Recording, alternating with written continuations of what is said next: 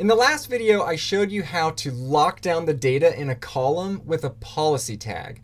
When you do this, only users who have the role of fine-grained reader will be able to query the data in that column. And for everyone else, it throws an error. However, you don't always want it to throw an error for everyone else. Instead, you might want to return null values or hash the data in some way. And that'll allow someone to aggregate it or make sure that there aren't certain types of data quality problems without just throwing a blanket error. In this video, I'm going to show you how you can do that by adding a masking rule to your data policy tags. For this example, we are going to go back to the user data table and we're going to take a look at this email column. What I want to do is apply a policy tag so that when a user queries the email column, it will return a hashed email address. So to do that, the first thing you have to do is navigate back to policy tags. In the last video, I created this example policy tag, but example was in the US region.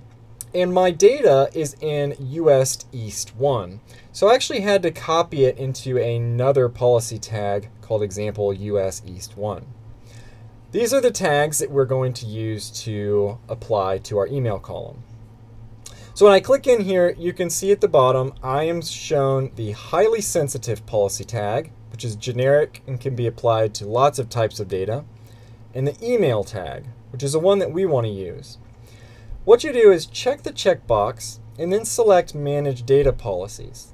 Now I've got the ability to add a masking rule. When you click Add Rule, you'll need to give this data policy a name. I'm going to call it hashed email. And then you choose how you would like the data to be masked. There is automatically built into BigQuery an email mask option, which is what we're going to use. But you could also choose to return the first or last four characters, you could use SHA-256, or you can have everything return null. I'll select Email Mask and Submit. Now I'm going to navigate back to the table where I'd like to apply, apply this policy tag. Just like we did before, I'm going to click Edit Schema, and I'm going to choose the columns that I'd like to apply, and then click Add Policy Tag.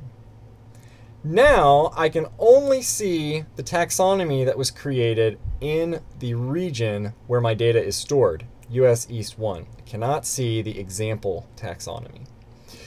Under here, I've got highly sensitive and email as my two options. So I'm going to choose email, select that, and save.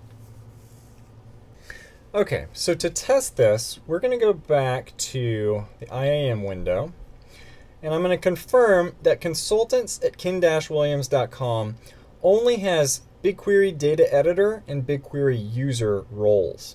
So I've removed the fine-grained access role that I had granted in the prior video.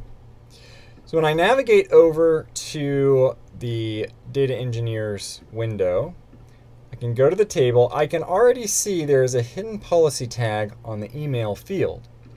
When I go to query this field, I will see a access denied error.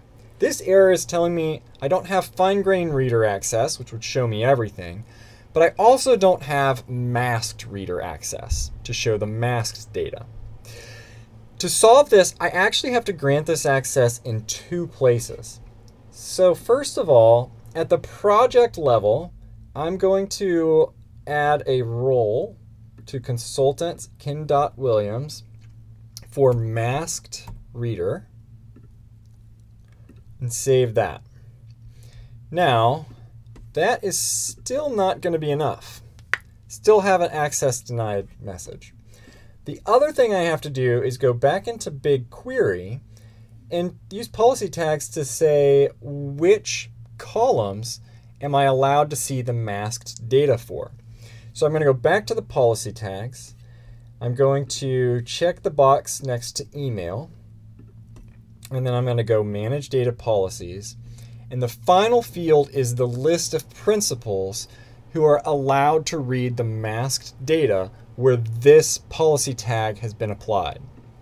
So I'm going to add consultants at ken-williams.com here as well.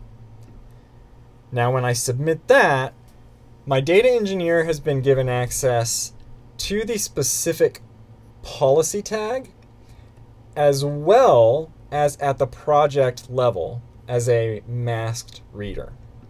So run the query one last time. And now, instead of seeing an error, we do see results.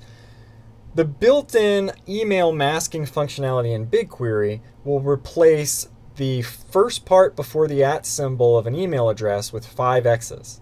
So now I can see that an email address exists and I can see that it was at hotmail.com, but I cannot see the user's email, so the actual personally identifiable element of it has been removed from this consultant. When you're using policy tags to restrict access to data in a specific column, you've got three options.